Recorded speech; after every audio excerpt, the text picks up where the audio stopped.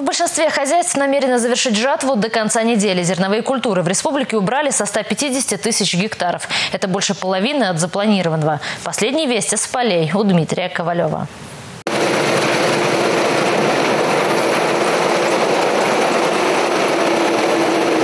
Это битва за урожай. От комбайна в полях поднимается плотная завеса пыли. Пока позволяет погода, необходимо наращивать темпы. На следующей неделе метеорологи прогнозируют проливные дожди. Каждая минута дорога.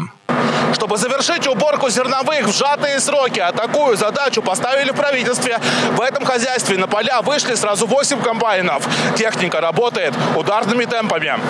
В этом деле важна не только скорость, но и научный подход. За посевами пристально следят агрономы. Специалистам необходимо рассчитать, как и чем обрабатывать поля. Ставка на семена пшеницы третьего и четвертого класса, которые поставляют хлебопекам. Сейчас мировая тенденция, тенденция в Российской Федерации идет на то, чтобы, наверное, убирать качественное зерно, не только получать высокие урожаи. И поэтому мы в этом году собрали пшеницу в основном вся пшеница собрана, это четвертый класс, но есть и пшеница у нас третьего класса, это зимая пшеница. Для того, чтобы собирать качественное зерно, мы используем разные сорта. Это сорта сильной пшеницы, и которые дают хорошую клейковину. Работники этого хозяйства рушат стереотипы. К примеру, этим комбайном управляет девушка. Управлять трактором, а потом и комбайном Юля обучилась пять лет назад. Каждое лето она помогает отцу, механизатору с большим опытом. Девушка и сама ставит рекорды. В женских руках техника работает безотказно привыкла уже легко, не тяжело. А мужики относятся как? Хорошо, нормально все. Вот девушка за рулем, не боятся, нет? Нет, коллектив дружный у нас. Объясняют, что непонятно. За одну рабочую смену такой комбайн может убрать где-то больше ста тонн.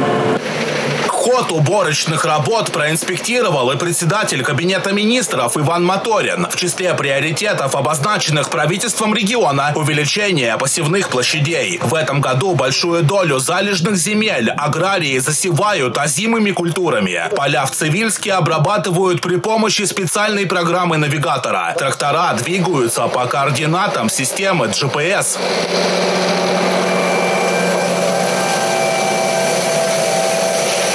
Тонкости работы на полях Иван Моторин изучал вместе с механизаторами в кабине трактора.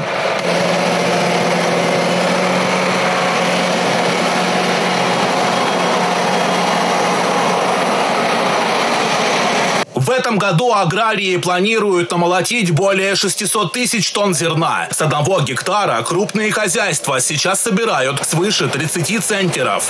Предстоит убрать с площади 269 тысяч гектаров. На сегодняшний день убрано 153 тысячи гектаров.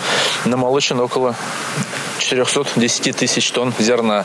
Урожайность картофеля на 6% выше, чем в прошлом году, примерно 17 центнеров с гектара. Урожайность овощей выше почти на 45 центнеров с одного гектара. Председатель правительства Иван Моторин отметил, что нужно ориентироваться не только на местный рынок, но и наращивать объемы поставок сельхозпродукции за рубеж. Такую задачу перед аграриями поставил и глава региона. Дмитрий Ковалев и Валерий Лизюков. Республика.